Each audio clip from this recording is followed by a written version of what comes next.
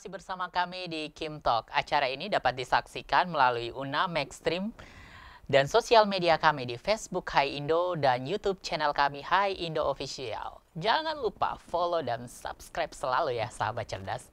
Dan tentunya dalam topik asuransi di mata millennials. Dan narasumber kita Pak Hari dan Pak Kim, kembali lagi tadi sesi yang ketiga ini kita akan membahas tentang sebenarnya pilihan asuransi yang tepat bagi millennials itu apa Pak Hari? Kan banyak sekali asuransinya.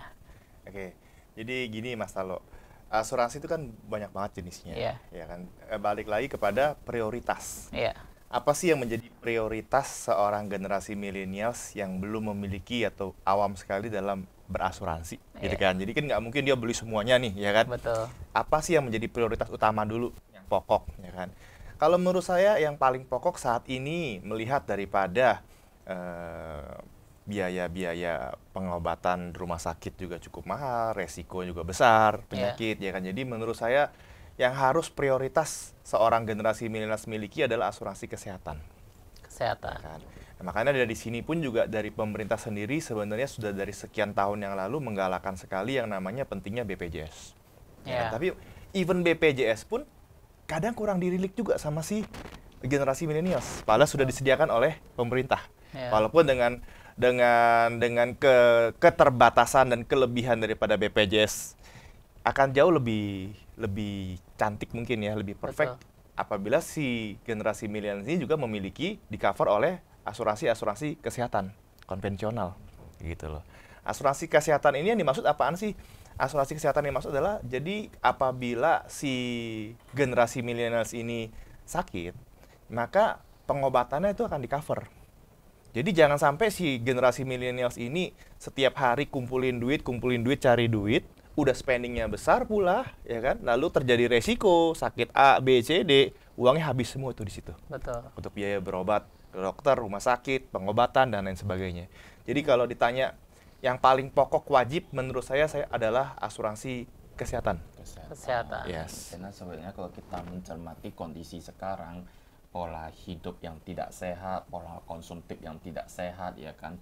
Nah itu sebenarnya jangan beresiko ya, karena sekarang resiko kesehatan itu bukan hanya eh, dilihat dari faktor usia tua saja. Iya. Kan sekarang banyak sekali ya Yes, usia muda yes, juga yes. terserang penyakit-penyakit kritis, banyak resiko kesehatan terjadi Iya, di iya. usia muda ya gitu ya. Dan udah nggak murah saat ini. Nah. Untuk Iya. berobat tuh udah nggak murah. Iya, Salah betul. satu barang mahal itu di rumah sakit sekarang saat ini. Iya, betul. Itu yang paling mahal gue rasa Iya. ya. Iya. Ya mungkin eh, mungkin Mas Talo bisa lihat lah harga obat hari ini obat sejenis lah ya hari Iya. ini dengan obat sejenis lima tahun lalu tuh berapa inflasinya Iya. tinggi sekali Tinggi ya kan sekali. biaya biaya laboratorium hari ini sama lima tahun lagi berapa bedanya Iya. artinya lima tahun ke depan 10 tahun ke depan ini inflasi untuk harga-harga obat harga-harga eh, medical harga-harga dokter operasi dan sebagainya jauh jauh akan meningkat sekali Kita melihat ada juga fenomena yang mana kalau katakan kalau selebriti, Iya. begitu kalau mereka terkena penyakit kan namanya selebriti selalu eh, ada info-info terkini, ada info-info menarik Iya. ya. Begitu mereka terkena penyakit, ya ada yang sampai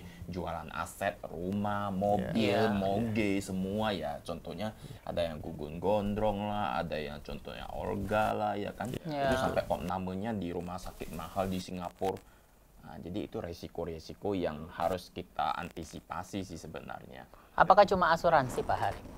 Eh, Selain asuransi kesehatan, mungkin mereka juga sudah mulai memikirkan perencanaan keuangan untuk masa depan, yaitu pensiun. Ya, jadi ini balik lagi kepada generasi-generasi milenial. Saat ini sebenarnya produk itu di di di lapangan di pasar tuh banyak sekali. Ya. Mau cuman mau yang kesehatannya doang ada, mau yang dana pensiunnya doang ada, investasi ya kan. Instrumen mau, investasinya mau banyak ya mau di mau langsung bundling ada ya kan. Jadi sebenarnya tuh saat ini produk itu udah inovatif sekali saat ini. Ya. Tinggal bagaimana generasi-generasi milenials ini mau mulai belajar untuk melek, sadar. Ya, Iya. akan secara pen- asuransi betul, gitu akan ya. pentingnya finansial, akan pentingnya proteksi, Iya. seperti itu. Jadi dua dua hal ini menurut saya menjadi kunci prioritas apabila seorang generasi milenials mau memulai mau memulai perencanaan keuangan tuh mulai dari mana sih? Saya rasa ini Itu. kesehatan dan uh, pensiun. Pensiun. Sana. Tapi millennials itu identik dengan traveling. Uh, banyak yang mengatakan bahwa traveling duluan, baru invest atau asuransi kemudian, gitu. nah, bagaimana biar traveling saya aman, Ya. proteksi saya juga aman? Dan itu, Itu- itu juga masuk ada kesehatan atau bukan? Eh, bukan masalah, itu beda lagi. Jadi eh, untuk traveling sendiri itu kita eh, di di lapangan kita sebutnya adalah travel insurance Travel atau asuransi perjalanan. Iya. Jadi walaupun di asuransi perjalanan itu mengcover juga yang namanya kalau misalkan sesuatu terjadi pada saat lagi liburan jalan-jalan itu Ya. sakit lah, accident lah, bahkan nggak cuma itu doang, sampai keterlambatan pesawat, delay sekian Ya. jam, bagasi hilang dan sebagainya. Pokoknya segala sesuatu yang nggak enak mengenai perjalanan lah. Ya. Nah itu diasuransikan Itu di di-cover travel asuransi. insurance Iya. ya kan. Jadi ini dua hal yang sebenarnya mirip tapi beda. Kalau travel insurance ini asuransi perjalanan hanya mengcover selama seperjalanan itu saja. Oke. Tapi kalau asuransi kesehatan yang tadi saya sebut itu buat mengcover dia terus sampai dia tua di situ. Jadi mungkin time horizonnya juga berbeda. Iya. Tapi yang asuransi kesehatan kalau hilang bagasi ya nggak ada nggak ada penggantian ya kan. Jadi jadi dua karakteristik yang berbeda. Dua-duanya perlu jawabannya perlu. Cuma Iya. kalau diprioritasin mungkin saya tetap mengacu kepada prioritas kepada asuransi kesehatan dulu. Iya. Ya kan? betul. Gitu. Oke, Pak Hari, apakah asuransi itu bikin kaya atau bikin ada profit, ada mekanisme profit dari Oke. asuransi? Jadi ini ini yang kadang-kadang saya juga sering ditanya orang ya kan. Dan menurut saya agak sedikit salah kaprah ya kan. Kalau Iya. orang berpikir saya beli asuransi supaya tambah kaya, ya kan. Iya. Saya saya saya punya asuransi maka saya akan kaya raya gitu kan. Eh, mungkin kurang kurang pas itu ya Kurang masalah tepat kurang ya, gitu. tepat lah ya tepat, kan. Jadi ya. jadi kalau ada orang bilang kalau beli asuransi bisa kaya raya, saya rasa sih bukan ya. Karena kalau memang mau kaya raya, mau melipat melipat gandakan uang Ya. gitu ya, ya itu salah satunya bisnis ya Ya. kan. Lalu mungkin bermain investasi saham dan sebagainya itu itu kan cepat kayanya ya kan. Tapi asuransi dibeli itu bukan untuk kaya, Tapi untuk memproteksi asetnya. untuk membuat supaya kita nggak jatuh miskin. Iya. Nah, ini dua hal yang berbeda, gitu kan? Gitu. Jadi kalau sampai satu terjadi sesuatu hal yang nggak enak, gitu kan? Jangan sampai lifestyle kita turun. Itu gunanya asuransi. Asuransi. Jangan sampai yang tadinya naik mobil jadi naik motor, yang tadinya punya rumah jual rumah, gitu Iya. kan? Nah, kalau punya asuransi jadi untuk menjaga supaya si orang ini nggak jatuh miskin. Itu asuransi. Masih Tapi kalau mending untuk ya, bikin yang iya. naik mobil turun jadi naik motor ya kan? jangan naik mobil langsung jalan kaki loh gitu Tapi kalau untuk bikin kaya, ya itu instrumennya berbeda, Mas Talo. Ya. itu bisnis asuransinya mungkin lebih tepatnya mungkin begitu mungkin ya karena ja- anak-anak muda zaman sekarang millennials juga rata-rata mereka eh, salah satu karakternya pak ya Ya. adalah mereka agak kurang suka lagi dengan menjadi karyawan mungkin ya Ya. banyak anak-anak muda sekarang kalau ditanya abis lulus kuliah mau ngapain kalau nggak jadi blogger vlogger gitu kan eh, barista YouTuber. barista buka coffee shop ya kan online shop ya kan mereka YouTuber entrepreneur gitu ya. gitu kan nah Ya, salah satu betul. jalurnya kalau di asuransi adalah entrepreneurnya itu adalah ya mungkin sebagai uh, partner daripada perusahaan asuransi, agen-agen asuransi dan lain sebagainya itu salah satu media entrepreneur yang gaya ke asuransi. Itu bisa memperkaya diri, Iya, bisa. itu salah satu media yang bisa di- dipertimbangkan ya Bisa Iya. dipertimbangkan, iya. seorang agent Iya. asuransi Iya. ya Iya. Dan cocok, cocok kenapa? Karena yang namanya agen asuransi itu eh, kiblatnya adalah jalan-jalan. cocok kan Mbak dengan tadi kita Iya. bilang eh, aktualisasi diri, Diri, millennials iya. atau traveling ya kan? Traveling. Cocok gitu kan. dan ini travelingnya gratis, Gratis ya ya. Gratis lagi. Jadi milenial punya kesempatan untuk jadi agen asuransi juga. Iya, iya. Oke, Pak Pak Kim dan Pak Hari, kita bicara soal asuransi di era milenial. Saya sebagai seorang milenial pasti ketika ditawarin oleh agen asuransi banyak banget setebal banget polis yang harus saya baca. Idealnya seperti apa biar dengan singkat, cepat, ekspres kata Bapak, saya bisa paham ini polisnya mau seperti apa? Polis asuransi kesehatan kuncinya di mana?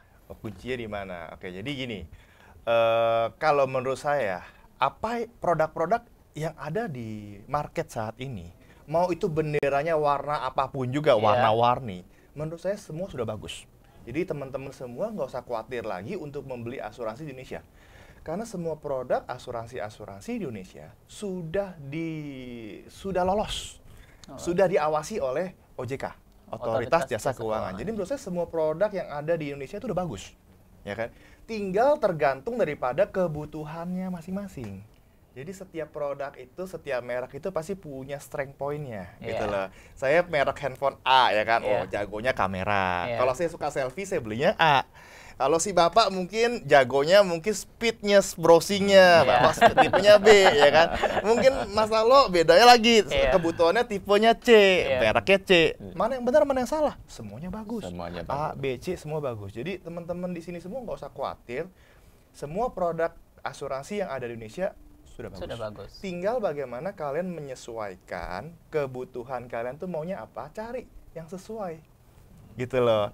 Kalau sebagus apa pun juga produk itu kalau nggak sesuai, ya jadi nggak bagus. Oke. Gitu loh. Karena namanya produk ada plus minusnya. Plus ya. minusnya, cari strength point-nya apa, cari kebutuhan kita, match. Selain terdaftar di OJK, apa dasar pertimbangan ketika kita hendak memilih perusahaan asuransi yang tepat bagi generasi milenial khususnya? Ya. Nah, di, da- di semua produk asuransi itu pasti ada pasal-pasal, Iya. ada tata cara, ada ketentuan-ketentuan berlaku. Iya. Menurut saya itu harus dibaca juga, gitu kan? Iya. Apa yang di cover, apa yang tidak di cover. Mungkin pada saat eh, melakukan pembelian itu benar-benar dibaca dulu. Gitu Iya. loh, jangan nanti saya mau covernya A, padahal yang dia beli kagak ada ini, nggak di Iya. cover. Jadi dia harus baca dulu pasal-pasal yang mengcover apa saja, pengecualiannya apa aja, cocok nggak buat dia? Iya. Cocok. Baru kita lihat lagi harganya masuk nggak dengan kantong dia? Cocok, ya sudah. Masuk. Oke, jadi Gitu. memang kita harus pahami dulu apa isi dari polis yang Betul, ditawarkan. Pasal-pasalnya harus dibaca. Pasal-pasalnya Ja- harus- Jadi jangan seperti kita membeli kucing dalam karung ya Ya. kan. Jadi kita tidak paham dan ke, eh, ke- kenyataan di lapangan banyak nasabah yang tidak paham mereka membeli produk apa ya. Oke, Betul. Pak Kim dan Nah, Pak Ari. Tahan sebentar, kita akan semakin paham pada segmen berikutnya. Tetap bersama kami di Kim Talk hanya di Hai Indo TV.